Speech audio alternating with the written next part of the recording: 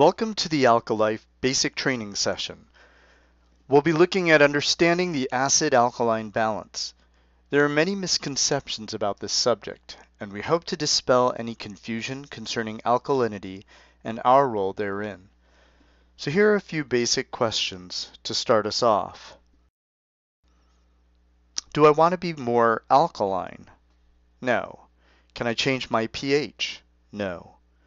Is my health affected by my imbalance? Yes.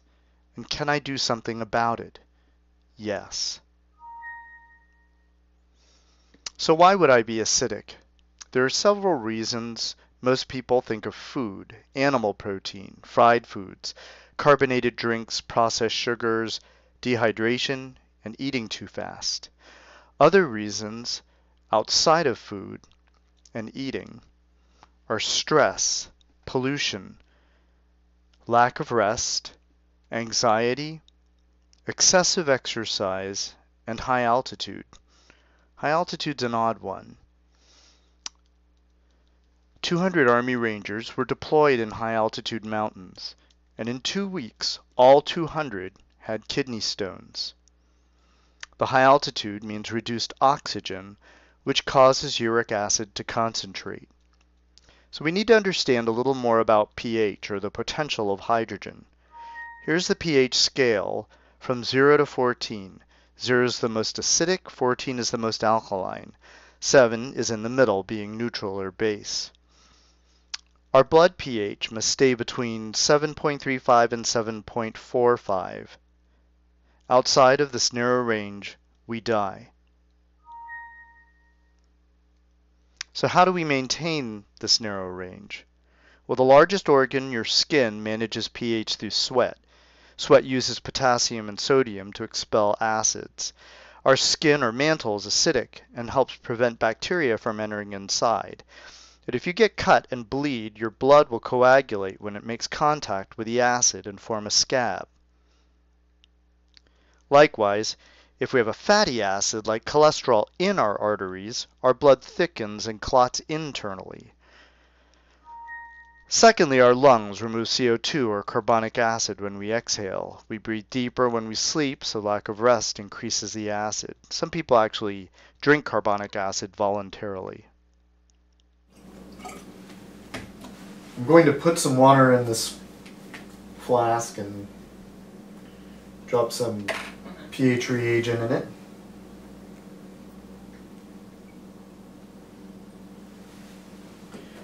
So we can see that it's acidic. Then I'm going to take my AlkaLife drops, or pH booster, and put it in the Dasani. As you can see, again, it brings the pH back up to a 10. And now I'm going to blow carbon dioxide into the water.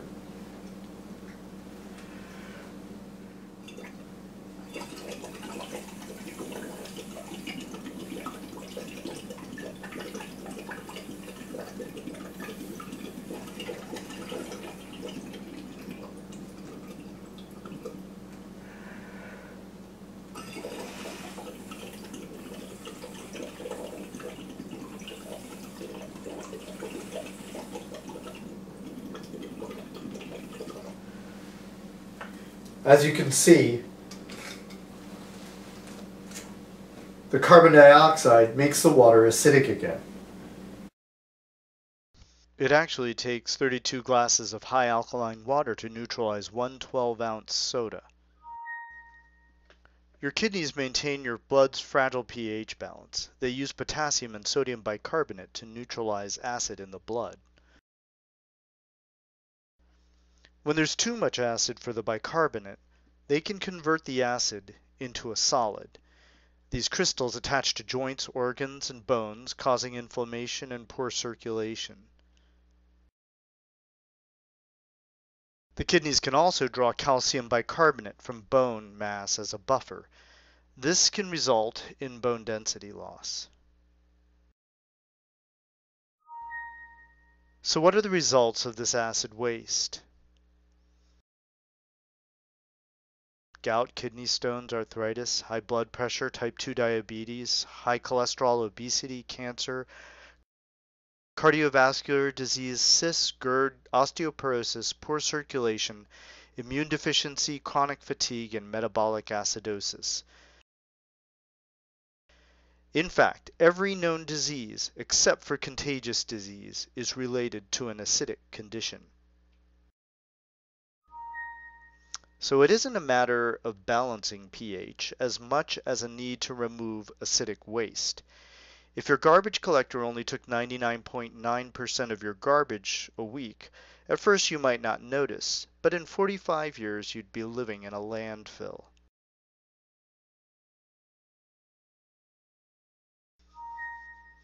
So why focus on water? More than 70% of your body is water. More than 90% of your blood is water. We need to reach the deepest cells, so we use hydration. So what about stomach acid? When we drink alkaline water, our stomach will produce acid to maintain a pH of around 4.0. But when we produce hydrochloric acid, the byproduct is a bicarbonate. Look at salt and water. We have sodium chloride and H2O. We can take the chloride and the hydrogen and form hydrochloric acid. But the leftover is sodium, one hydrogen and one oxygen. Combined with carbon dioxide, they form sodium bicarbonate. This natural balance of bicarbonate production is known in the medical field as alkaline tide. The acid enters the stomach while the bicarbonate enters and protects the small intestine. However, if you supplement HCl, you may be causing damage to your small intestine because you're only getting half of that equation.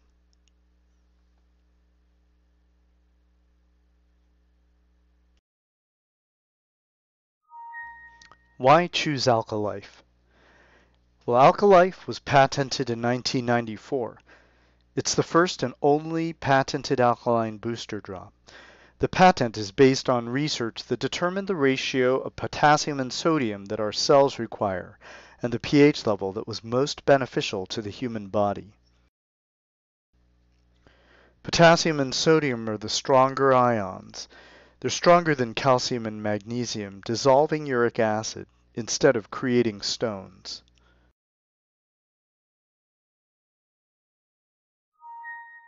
Why take bicarb balance?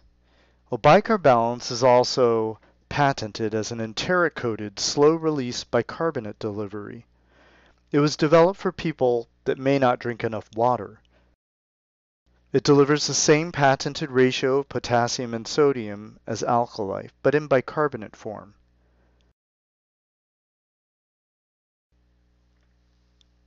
When people supplement betaine hydrochloric acid, they don't naturally produce the bicarbonate necessary to protect the small intestine. Bicarb balance puts the bicarbonate in the small intestine by the enteric coating.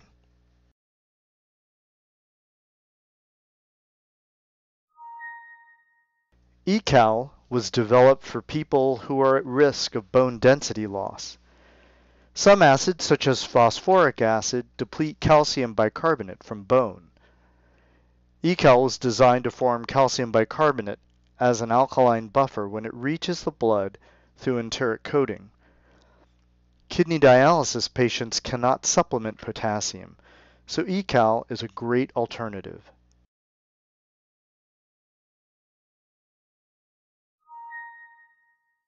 Why Alkalife 10 bottled water?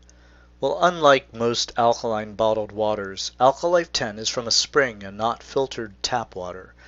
Blue Springs is a quartz aquifer with a total dissolved solid at below 31. Most springs start in the thousands. The water is piped 100 feet below the surface of the spring directly into the bottling facility, so there's no chance of the water hitting carbon dioxide or any pollutants. It's infused with a patented Alkalife pH booster at the most beneficial pH of 10.0. And finally, it's in half liters and liter BPA free bottles.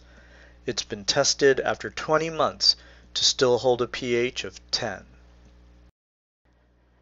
Thank you for watching the Alkalife Basic Training Session. If you have any questions or would like to set up a live training session, please contact our main headquarters at info at alkalife.com.